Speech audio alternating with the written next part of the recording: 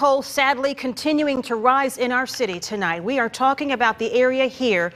This is Waldemere Avenue and Washington Street. This happening in just the last hour. Here's what we know right now. We can tell you sadly a person is dead.